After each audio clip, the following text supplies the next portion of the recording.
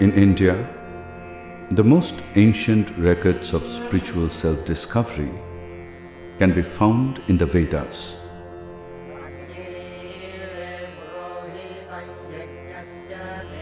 The Vedic seers boldly declared that behind the many forces of nature worshipped by man, there is one self, one being, one consciousness, one existence.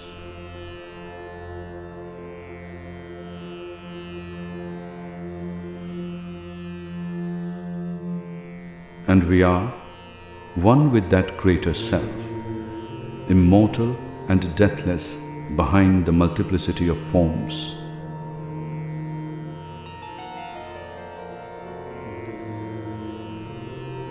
This experiential realization was accessible to anyone who was willing to embark upon the path of self discovery.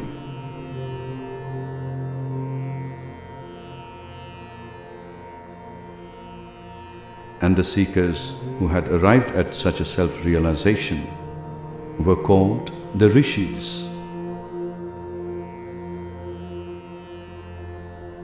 They guided the destiny of people, their kings, kingdoms, and the growth towards larger empires.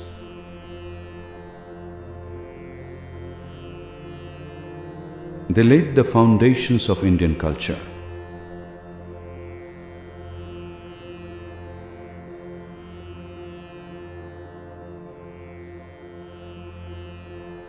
But how old are the Vedas? The orthodox scholars position it around 1500 BCE.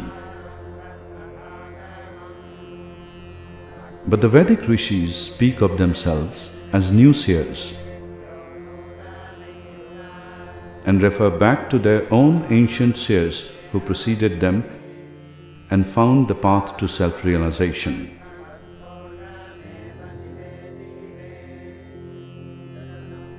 This makes it difficult to clearly demarcate the time period of the Vedic age and the antiquity of its systems of knowledge.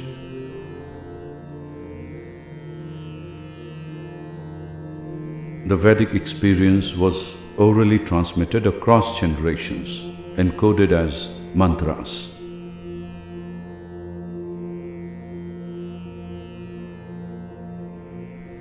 Sri Aurobindo refers to this ancient mantric language as Deva Bhasha,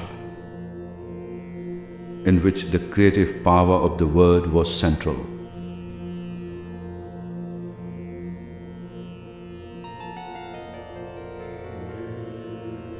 The rishis were the discoverers of the Vedic mantras. They did not intellectually compose them they discovered the flame of aspiration, the Agni, arising from their innermost depths, and gave it utterance in life as mantras. The rhythmic words of immense transformative power, an utterance that was one with the innate processes of nature. This Agni, this flame of aspiration, was not only within themselves, but they saw it everywhere in nature. Carrying forward a mysterious process of evolution in nature towards higher ranges of consciousness.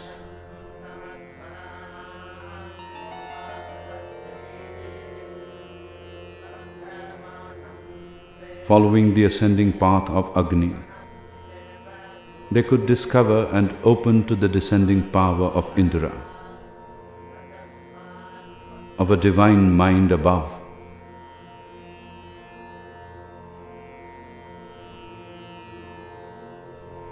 And with it, the immense powers of self transformation. A process that was at once a journey and a battle, ascending to higher planes of existence and receiving into themselves greater powers of consciousness. beyond the material nature. They mapped the seven planes of consciousness. It is in the Vedas we find the earliest references to the supermind, the Mahas or the Vijnana, or in Sri Aurobindo's modern language, the truth consciousness.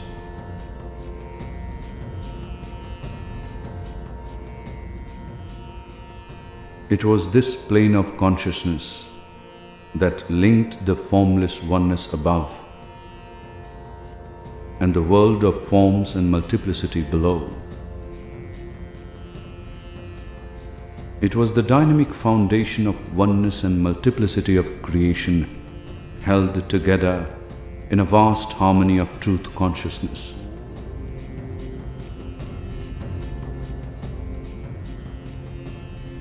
They mapped the ascending pathways to this sun world. It was their psycho-spiritual process of self-discovery and self-transformation. a process they referred to as yajna, a universal process of evolutionary transformation in nature.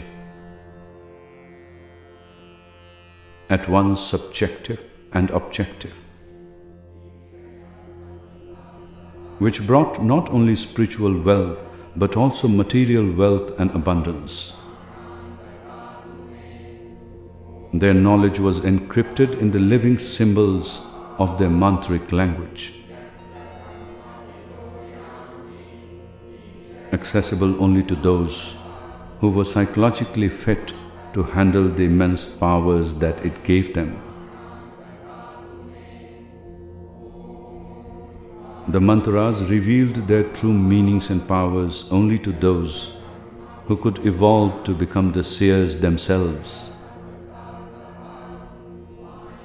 For the rest of the society, these mantras and yajnas remained as a means of gaining material prosperity. It was the age of intuition in India. The age of mysteries. The earliest dawn of spiritual awakening and evolutionary transformation of human nature.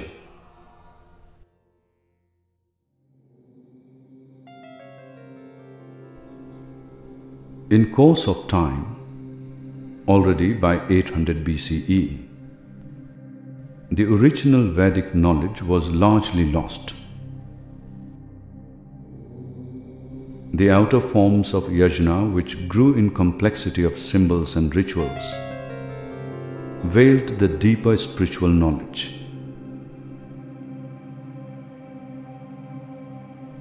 We can see that Yaska the ancient lexicographer who lived before Panini, counts more than 400 antique words of which he did not know the meaning. This loss of Vedic knowledge led to a powerful movement of revival in the form of the Brahmanas and the Upanishads.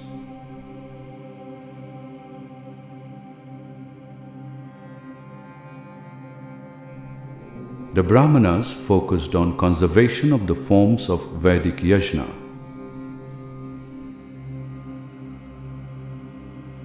They labored to fix and preserve every detail of the Vedic ceremony.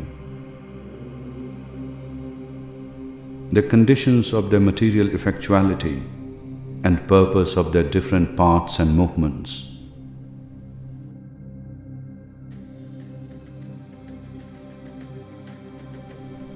On the other hand, the Upanishad sought the revelation of the soul of Veda. They sought to recover the lost or waning knowledge by meditation and spiritual experience.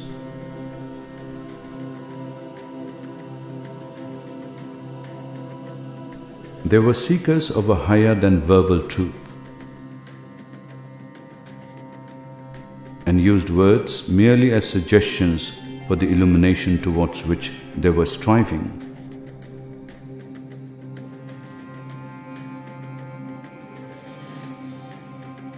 The Vedic word was a seed of thought and vision by which they recovered old truths in new forms.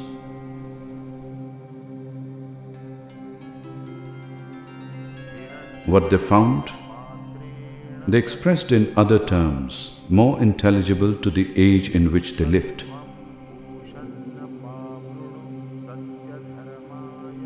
Thus, the eternal knowledge enshrined in the Vedas was brought forth and restated as the knowledge of Brahman, the central idea of the Upanishads.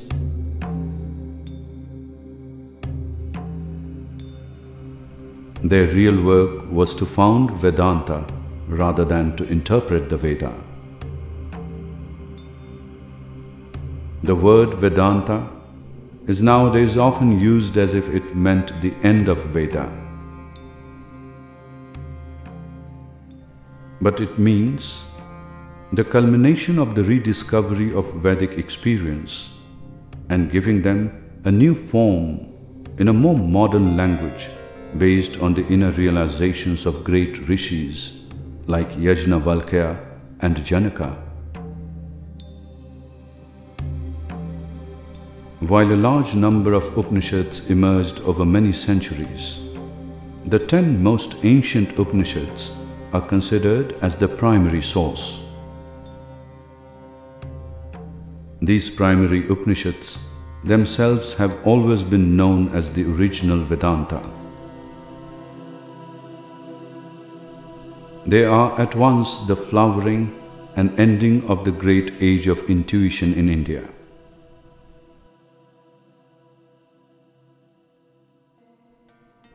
The Vedantic seers bridged the ancient mystic tradition of the Vedas with the coming age of reason in India.